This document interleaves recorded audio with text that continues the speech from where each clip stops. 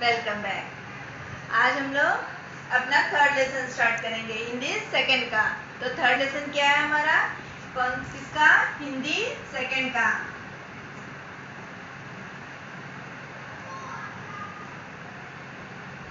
ठीक है? तो हमारा थर्ड लेसन क्या है? मात्राएँ, बिंदु और चंद्र बिंदु अब आज हम लोगों को पता चलेगा कि हमारी मात्राएँ क्या होती हैं? बिंदु किस लिए हम लोग लगाते हैं और चंद्र बिंदु किस लिए लगाते हैं? ठीक है? अभी तक आप लोगों ने क्या पढ़ा था नर्सरी एल में? केवल स्वर और व्यंजन ना?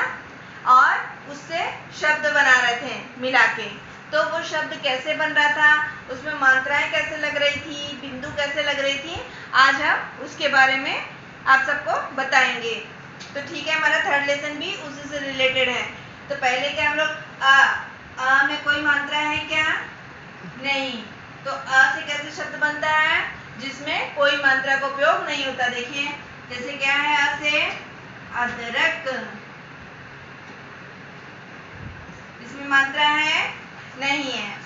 फिर अगर खाली स्वर ही नहीं, अगर व्यंजन, ये क्या है? ज क्या है आपका? व्यंजन है। ये स्वर है क्या? नहीं। अ स्वर है। ज क्या व्यंजन है। लेकिन इसमें भी बिना मात्रा के भी शब्द बन सकते हैं। जैसे क्या है? जल। जग। ये क्या हुआ? बिना मात्रा के जिसमें कौन सा स्वर है? अ है। क्या है? कौन सा स्वर है? अ। तो मिला के क्या हो गया? जल। जग। अब इधर आइए।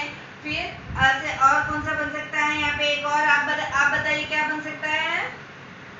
क्या बना सकते हैं और कुछ? अमर। अजय।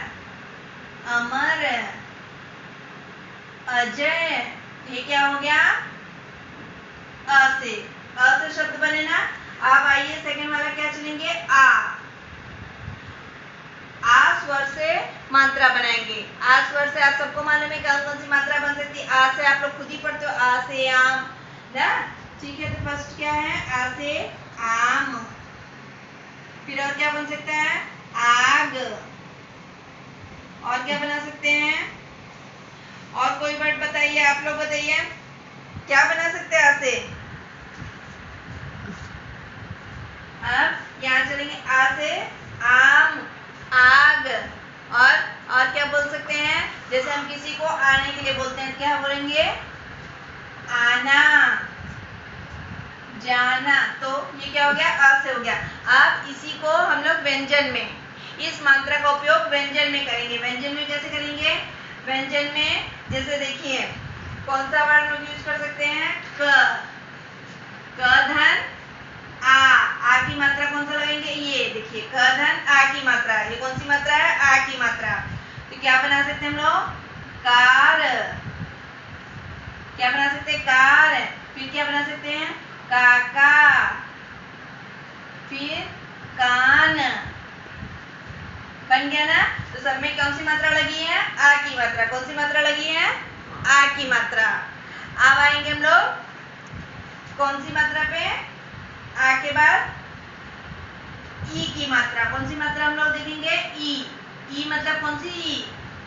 ई ये कौन सा है? छोटी ई। कौन सी ई है? छोटी ई है। तो इससे हम लोग क्या बनाते हैं? छोटी ई से? बोले छोटी ई से क्या बन सकता है? इमली और क्या बना सकते हैं? इमारत। ठीक है? अब इसी को, इस छोटी को हम लोग व्यंजन में लेंगे ये सब हमारे क्या है? स्वर हैं। क्या है? स्वर। पता है आपको ना? और ये क्या है? कख क्या है? हमारे व्यंजन है। कख क्या है? हमारे व्यंजन है। तो ई ई से क्या हो गया? इमली, इमारत।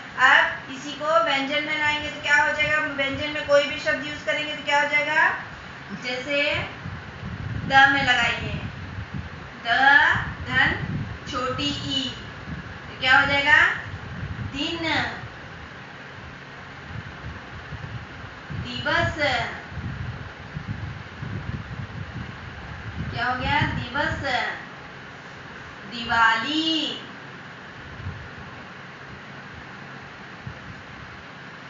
क्या हो गया? दिन, दिवस, दिवाली। ठीक है? अब इसी से एक और बड़ी। कौन सी है? ये बड़ी ई की मात्रा। तो बड़ी की मात्रा कहाँ से लगाते हैं? ये व्यंजन के पीछे से लगाते हैं। कहाँ से लगाते हैं पीछे से। इसको क्या कहते हैं? बड़ी। ये कौन सी है? छोटी। ये क्या लगता है? व्यंजन के आगे से। तो व्यंजन के पीछे से बड़ी से क्या बनता है? ईख। क्या होता है? ईख। तो अब अगर इसको हम लोग किसमें? बताइए आप लोग, किसमें लाएँगे? व्यंजन में। व्यंजन में अगर लगाएँगे तो क्या बन सकता है? जैसे क में लगा दिए। तो क्या बन जाएगा? बड़ी से कील। क्या बन जाएगा? कील। और क्या बना सकते हैं? बताइए। दोनों वर्ड बना के ऐसे ऐसे आपको अलग अलग पूरा वर्ड बनाना है। समझ में आ रहा है? तो ये आज हमने पढ़ा दिया इतना मात्रा है। इसको आप लोग ध्यान से पढ़ें। पेज नंबर ट्वेल्व को अच्छे से रीड करके, फिर पेज नंबर थर्टीन में जितना आपको वो दिया गया है। देखिए, चित्र देखकर सही नाम चुनकर लिखिए एक्सरसाइज दी गई है। दी गई पहली को पूरा करना है और यहाँ शब्द लिखना है। तो इसको पूरा कंप्लीट करेंगे। ये आपका होमवर्क है। और क्लास वर्क में इसको ज़रूर लिख डालेंगे पूरा। जैसे हमने लिखा है, वैसे ही आप लोग पूरा क्लास वर्क में इसको लिख डालेंगे। Okay bye have a nice day